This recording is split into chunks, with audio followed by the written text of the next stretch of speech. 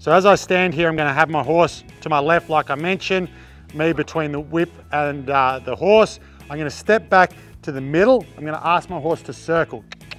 Now, when I want my horse to circle, I'm gonna keep my whip tail behind the horse's hindquarter or behind the tail of the horse. The handle, I want the handle in line with her brand. I want the tail in line with the horse's tail, like I mentioned, and everything's sort of parallel.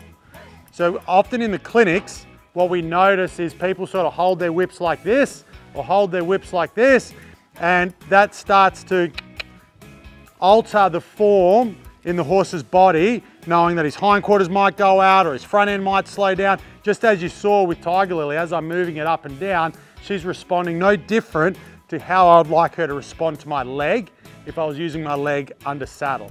So I wanna keep my whip very still and in that parallel position with my horse shoulder lined up to the handle and the tail lined up to the tail of the whip. Also, what you'll notice is I'll keep my whip in the same hand, keep my lead rope in the same hand. If my horse is going left, my knuckles will be facing down. If the horse is going to my right, my knuckles will be facing up. So if I take her here and change the direction, the whip tail changes, so that creates the change of direction for the horse. And now she's going right, my knuckles are now raised up here to the ceiling. I've got my lead rope in the same hand as in my left hand and it just sits over my right arm. Most of the introduction to Liberty in the halter and lead, we will start at the trot just because it's actually really easy for a horse to be balanced at the trot. He's always got two feet on the ground. So he's either got his right front and his left hind or vice versa. So it's really easy for him to feel stable and balanced. Plus, it allows us to create a little bit of impulsion to keep the drive as you can see. So she's driving. The next thing I want to do is I want to create some inside bend. So I'm really exaggerated it here. I'm not pulling on a nose.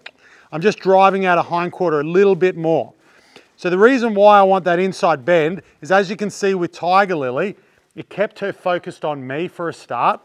And I want, you don't lay, lay down just yet, Precious, okay?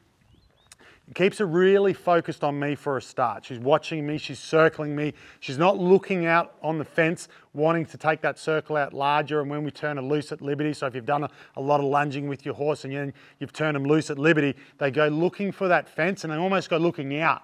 And then it's really hard to get them to focus back on me and concentrate and watch those whip aids. So I want her to be able to bend in and circle around me. Even though that she's really, really close, she's not on top of me because she's keeping her shoulder up and she's driving herself on that circle. The circle is staying the same radius all the way around, which is really important. If she was leaning on me, she'd be stepping in with her shoulder to balance herself, and therefore if she's, if she's stepping in, her nose is gonna be pointing out, and she's gonna be sort of stumbling on me, and I don't want that. I'm gonna drive the hip and the belly out, so push her out, and then that's gonna bring her head, neck, and shoulder just into the circle, just where I want it, and create this bend. But I'm not gonna pull on the lead rope. And the main reason for that is because I do not want her reliant. So going back to just creating, like I said, that bend, creating that circle, I don't want it reliant on the lead and we need it balanced to the whip. So when we talk about balance to the whip, if I change the direction of the whip, she changes the direction of a circle. And I'll start working on that smaller circle here and that drive that hind quarter out. Okay, as well as as we become more advanced, I might want to ask it up to canter. Right, so I'll let her body be a little bit straighter, but I still want to nose in. I'll let her come in. Oh, good girl. And by asking the horse in, you'll notice I'm just dropping my whip. But if I put it to the right, she must come in on the left or vice versa like we spoke about. And as you saw, as I changed the tail of the whip's direction, the horse followed the whip and changed direction also. Going back to that circle, once I asked that mare up to canter, you notice the body got a little bit straighter, but she still maintained some inside curve.